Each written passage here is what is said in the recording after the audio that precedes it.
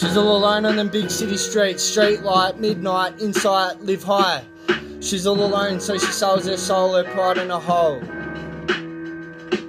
Some may call her a mole, some may hate on her as a whole, but she doesn't give up. She knows it's tough living in the world, but she cannot say a word, no choice but to doll.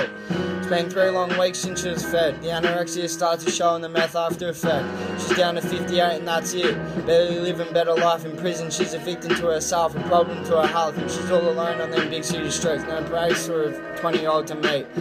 Beats a heap by removing a sheet of clothing. Next thing you know, them rips start to poke and show collarbones are raised like how you could have sworn she fell with a black eye. She's been on couches of boys she meets in random places for a night.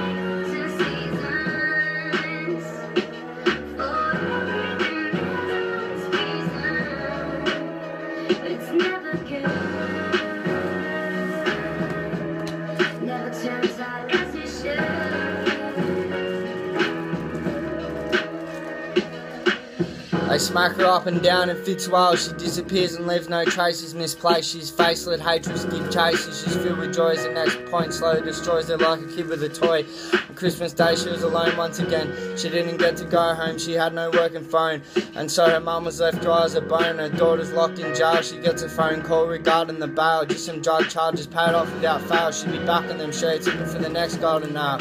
Week after week, same routine. She's a fiend. She'll never be clean. And now she's got a bun in the oven. The baker said, "See you later. Have a nice life." I'm off to marry a wife. She's in strife as the bun ripens up. So she ends it all with one clean hit straight to the heart. She's starting to fit. She's out like a light bulb, and lo and behold, overdose, comatose, and the baby's left with no hope. Dead, died on the scene. The story's over. She's all alone. No one to call her own. So far from home.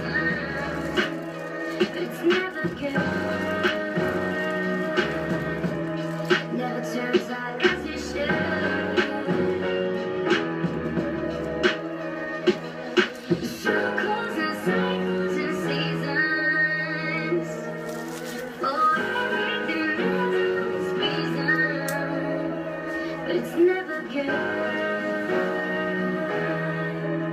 Never turns out as it should.